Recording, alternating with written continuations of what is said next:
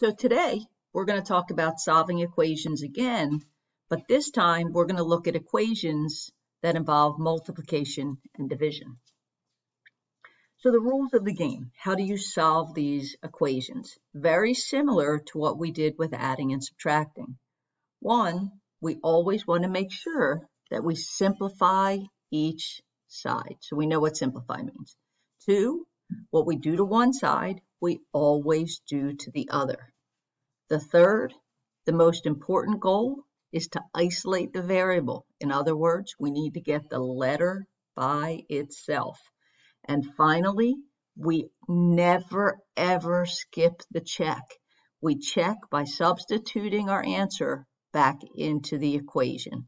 Make sure that you're writing these rules down into your notes. You need these. All right, so let's look at a couple problems. So we want to solve this equation. Negative 8y equals negative 9, 6. Well, in other words, that means negative 8 times some number y equals negative 96.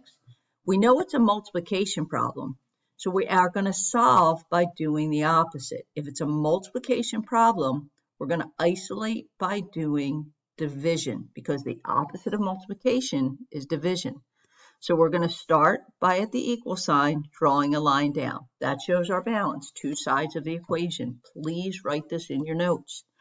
We're going to come to the left side of the equation and I'm going to use a fraction bar to show the sign divide. I'm going to divide by negative 8 because negative 8 divided by negative 8 is going to give me a positive 1y. That's going to isolate the y. But if I divide by negative 8 on the left, then I have to divide by negative 8 on the right. And look at how I'm showing the work. You need to show it the same way. Now, this means I need to divide negative 96 by negative 8. So I'm going to do this division. I know a negative divided by a negative is positive. So negative 8 divides into 9 once. 8 times 1 is 8. Do my subtraction, that becomes a 1. I bring down the 6. 8 divides into 16 two times. So therefore, I believe y equals a positive 12. Now, what's so important is that I don't skip this check. If I believe y is 12, I can substitute it back in. So I've got negative 8 times what I believe y is now, 12, should equal negative 96. Well, now I have to do this math. 12 times 8, 16, 96.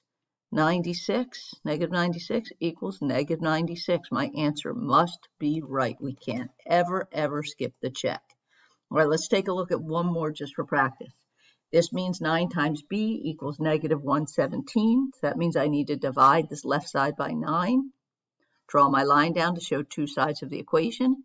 If I divide the left by 9, I have to divide the right by 9, and I have to solve for b. So I actually have to do this division. Negative 117 divided by 9, I know a positive and a negative is going to give me a negative. 9 divides into 11 once, so it gives me a 9. I subtract, that gives me a 2. Bring down my 7. 9 divides into 27 three times. So b should equal negative 13. If I'm correct, it's going to be evident in the check. So 9 times negative 13 should equal negative 117. I have to do this math to check. So negative 13 times 9, 7, carry the 2, 117 negative. Sweet. Negative 117 equals negative 117. If your check doesn't work, you've got to go back to your work. Now, here's a problem that has an extra step. If we remember with our rules, we always need to simplify the expression. So over here on this left side, I can combine like terms. 5n, negative 5n minus 3n gives me negative 8n equals 48. So how am I going to solve? It's a multiplication problem, so I'm going to divide going to divide left by negative 8. That means I'm going to divide the right by negative 8. My negative 8 divided by negative 8 is going to leave me just with a beautiful n.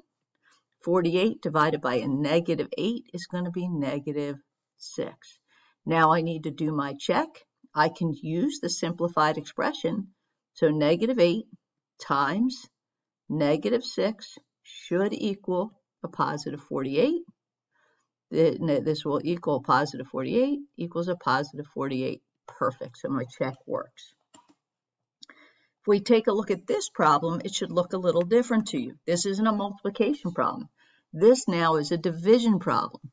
So we have k divided by negative 15 equals negative 6. So in other words, what number divided by negative 15 is going to give me negative 6? Same rules. What I do to the right, I do to the left. I draw my line down to show both sides.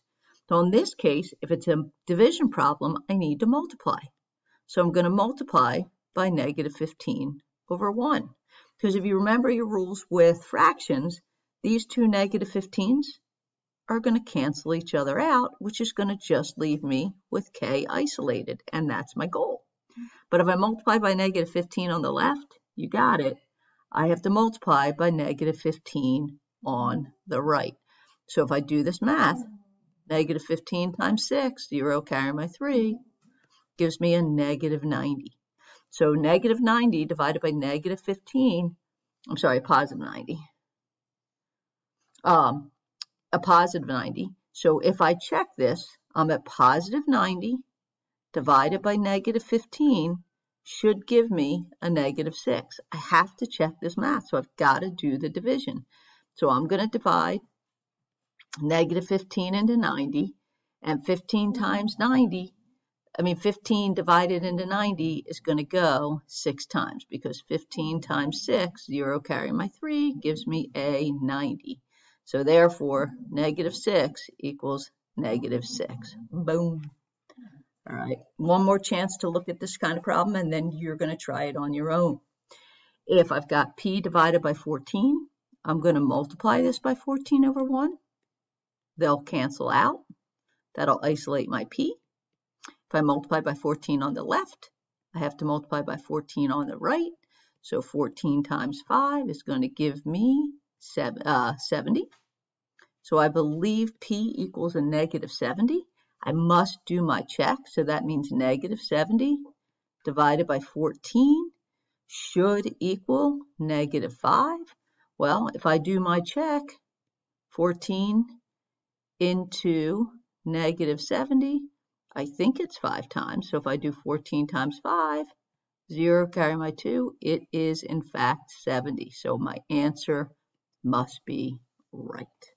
So here are a couple for you to try.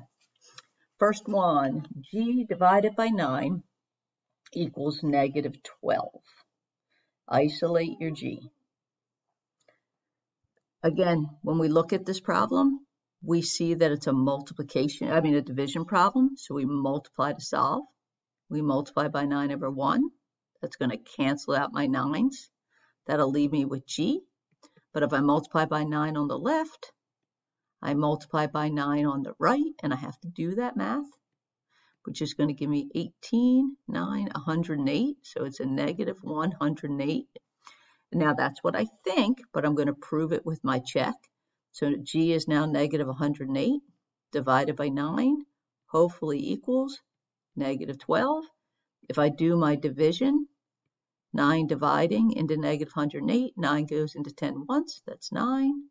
1, bring down my 8, and that goes in 12 times. So it equals negative 12. My check is correct. Try this problem.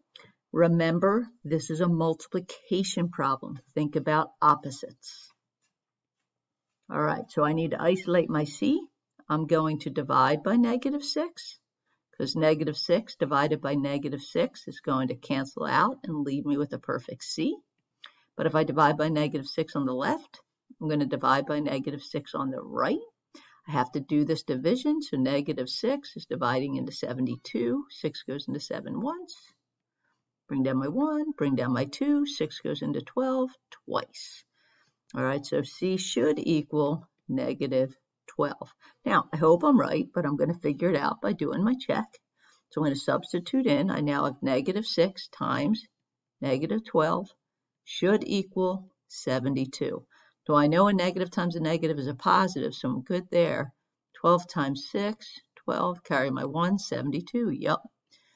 72 equals a positive 72. I must have done it right. Last problem for you to try. Um, looks like you have to simplify first. Good luck. So when I combine my like terms, 3x minus 7x is negative 4x, which equals negative 44. It's a multiplication, so I'm going to divide to solve. I divide by negative 4. That isolates my x. That means I have to divide by negative 4 on the right. Negative by a negative is a positive. Negative 44 divided by 4 should give me a positive 11. When I do my check, I'm going to use the simplified equation. So negative 4 times 11 should equal negative 44. Negative 4 times 11, negative 44 equals negative 44. Perfect. So the most important thing, guys, you must show your work. You must do your checks. You will always know whether you are right or wrong. You did a great job today.